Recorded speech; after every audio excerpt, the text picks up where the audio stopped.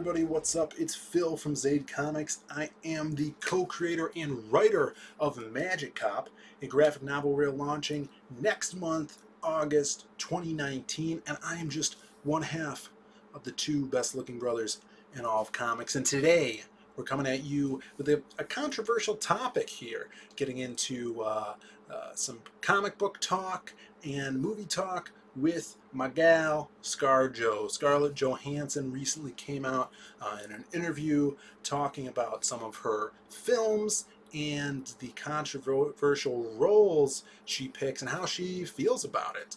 Uh, and I kind of wanted to uh, compare that to some comics and how writing comics, writing characters, and portraying characters kind of correlate uh, a little bit. Wanted to throw that to all you guys. So let's get right into it. Switch over here.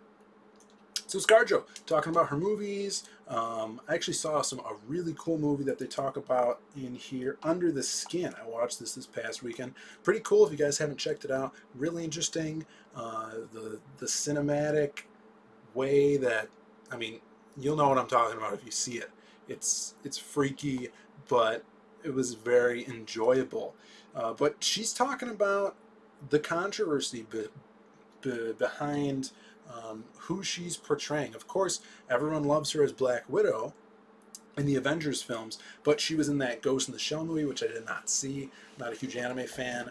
Um, I heard it wasn't that good. Some people liked it though, uh, but people there was a huge controversy about her being cast as this anime character, this manga character from Ghost in the Shell, and uh, and and yeah, I know nothing about the the, the, the movie, the anime, but I do know I have um, a Japanese friend that is a big fan of the anime, and uh, well, I don't. I, I have a friend a Brazilian friend that has a Japanese friend. So it's a friend of a friend that enjoys the anime. Um, and the Brazilian friend asked the Japanese friend what they thought of this this whole uproar about Scarlett Johansson playing this this character from Ghost in the Shell, and the Japanese friend uh, said, "Isn't that character white in the anime?" So so the perception in uh, culturally is kind of weird. Uh, seemingly, the uh, us here in America are, are, in this big uproar about Scarlett playing this character, but uh, to my knowledge, in Japan, they they think that this character is Caucasian. I don't know. I'm not. I mean, anime freaks me out. You know, I'm a huge. Um, I talk about anime, and it's you know I get get shivers up my back. It's it's not for me. I'm a huge comic fan. You know, I respect the medium for people that like it. Sometimes I'll rag on it, but just.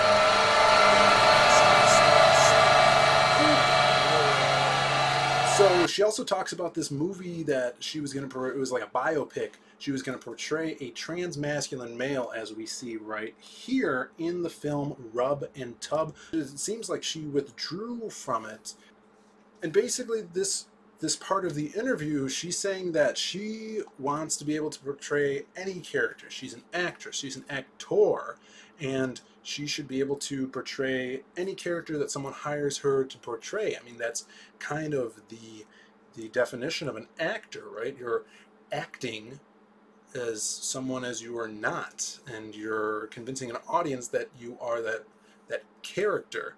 Um, and a lot of people got pissed off about this. You can't, you shouldn't, all that stuff. And, uh, and I mean, actors have been doing this forever, literally. You're, you're portraying someone you're not, someone you've never met most of the times. Some, most of the times they're fictitious. They're not even real. And uh, everyone got pissed off about this. I mean, no one made a stink when Jake Gyllenhaal, you know, portrayed a, a gay cowboy in Brokeback Mountain. That is what actors do. Uh, even if it's uncomfortable for them, they get in that mindset. They embody that character. And the method actors like like Mickey Rourke, the God, they get down into it. They become, they embody that character. Uh, and and yeah, so here's a tweet. Uh, when trans people are allowed to play any person when uh, predominant roles stop being whitewashed, then Scarlett can have a moan. Well, sir or madam, I show you exi exi ex exhibit A. Uh, this right here, a character named Jericho from DC Comics. Uh, this is an article talking about Titans, uh, the big show at the DC Universe Network streaming service that you could, uh, you know, subscribe to. Titans did a pretty good first season, and they're coming back for a season two. Uh, which uh, Swamp Thing should be coming back for a season two, you know what I'm saying? But uh, the character Jericho, uh, if you're not familiar with that character, he is the son of Deathstroke. Maybe you'll be, you know, more familiar with him. He's been in Batman video games, been in a lot of, you know, uh, animated series, stuff like that. So Deathstroke's son, Jericho, is a gay character. He's going to be in the second season of Titans and cast as this character is an actor by the name of Chella Man. Now, if you guys don't know who Chella Man is, I did not know who Chella Man was. But when this uh, news broke, um, I learned that Chella Man is a deaf trans man uh, who's uh, both Chinese and Jewish. So, I mean, that's if if they want more diversity, I don't know if we give it to them. But Chella Man is a trans man playing a gay man uh, on this show, so all of ScarJo's haters should be happy that there is a role out there um, and it is being played by a trans man, uh, member of the LGBT community for Titans season two. So I think Scarlett can moan a little bit, and I wanted to talk about this because I wanted to compare it to um, me being a writer and writing comics and comic book characters and stuff like that. But if you guys didn't know, I am an actor. I am a thespian, just as Scarlett Johansson. In high school, I portrayed the wizard from The Wizard of Oz. Yeah, that's right. Um, even before that, I was, when I was a child, I played one of the members of the Lollipop Guild in The Wizard of Oz. Now, who, I ask you, has been in The Wizard of Oz twice and been the smallest member and the biggest member? That's me right here. In fact, I still have the hat that Brandon, my brother, made to portray Professor Marvel and the Wizard. Um, insert picture of me in high school wearing the same hat uh, I, am a thespian. I am a 100% thespian through and through. I have the certificate, I think. Um, I did go through this. This mem- is ingrained in my memory. I did went through the weird, cultish um, ceremony on the stage of my high school where we each had candles and we lit the candles and I don't know if I'm a thespian or I sold my soul to the devil, one of the two, but that happened. So I know a thing or two about acting. And I think actors, since it's in the word, since before, you know, Shakespeare, actors have portrayed characters that they are not. And I think it's a way to put yourself into another culture's shoes, in other people's shoes, new characters' shoes. Um, I, when I was in high school, I was not a 70 uh, year old balding man with, with white hair, uh, but I did portray one.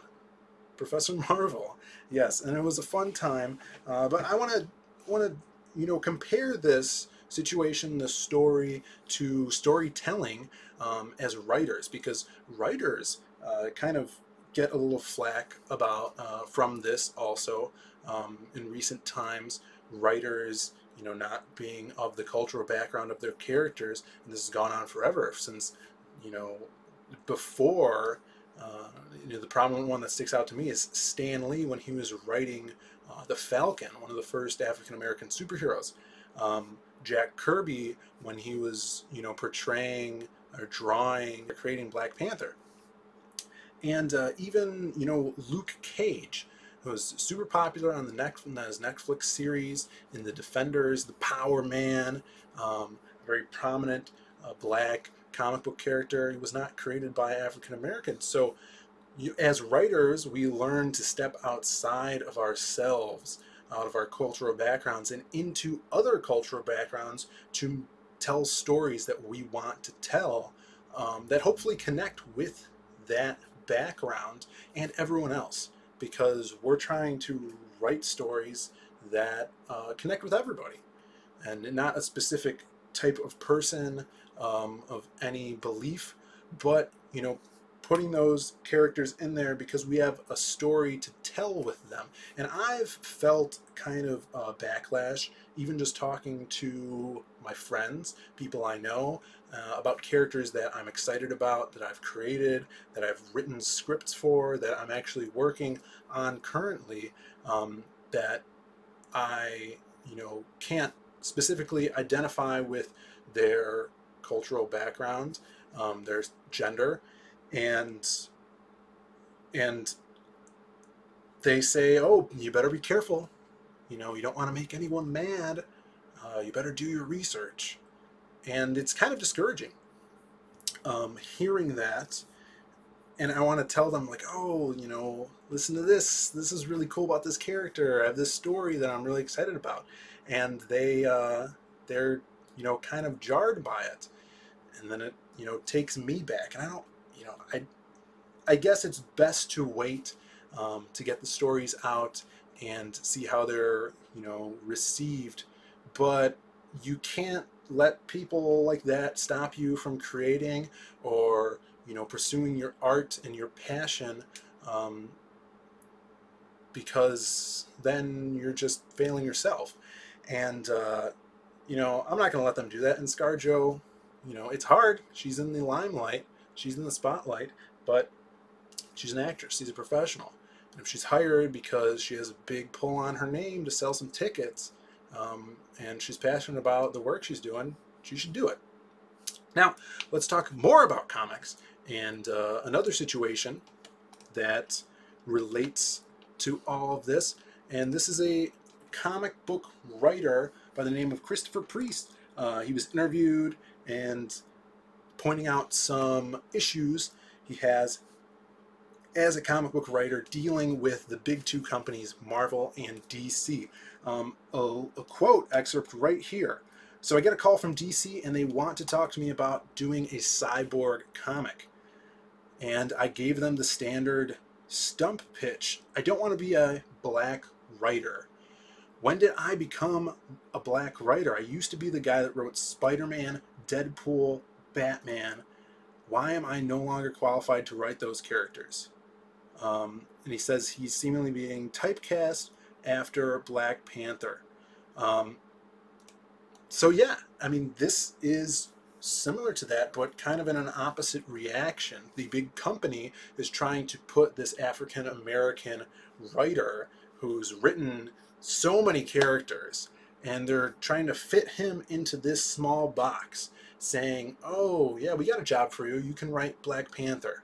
And you know that the company is doing that because they want to be like, oh, we got a black guy to write Black Panther. And Christopher Priest sees it, he points it out, and he doesn't like any of it. And it's stupid. It's kind of the virtue signaling in the comic industry right now. Oh, we have Iceman. Iceman now is homosexual. So we're going to get a homosexual guy to write Iceman. And after that tanks and gets canceled a few times, then that writer, is, we don't want him to write anymore. Maybe because he wasn't a good writer in the first place, or maybe for some other reasons, but uh, we want you know these specific per- people to write these specific characters.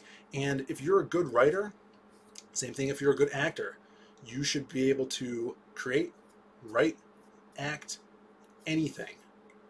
And uh, I think that's where ScarJo is coming from. That's where Christopher Priest is coming from. And that's where I'm coming from. Uh, people have been doing it for years, and right now uh, is it's it's a time where uh, people are are fitting these characters, these these writers and actors into boxes um, just to check mark them off for their company. Um, not because they really care about anything. Uh, they don't care about real good stories. Um, they care about uh, being politi- politically correct. Now, I made this video because I wanted to compare those two aspects of writing comics, acting, and uh, what we could do to, you know, make things better for for stories, stuff like that. I wonder what you guys think. Do you agree with me? Do you disagree with me? Um, do you think ScarJo should shouldn't be playing Black Widow because she's not Russian? I mean, what do you think? Do you think I looked uh, super cute when I was in high school wearing wearing that uh, Wizard of Oz hat? You tell me in the comments below. Hit that like button button if you want to see me wear that hat more in these videos. Tell me that too. And if you guys haven't subscribed, please subscribe. Bringing you some awesome content. We just got over 100 subs. Super excited.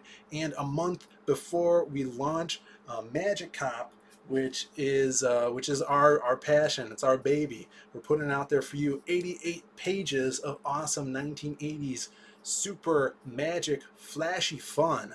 Um, head on over to zaidcomics.com or click the Indiegogo link below. It'll take you to our page. You can learn more about it, sign up for our mailing list, and everything to do with Zaid Comics, you'll you'll get it right there. Uh, social media is down below, and uh, I've been talking for a while. Thanks for thanks for listening to my rant, and uh, hope to see you next.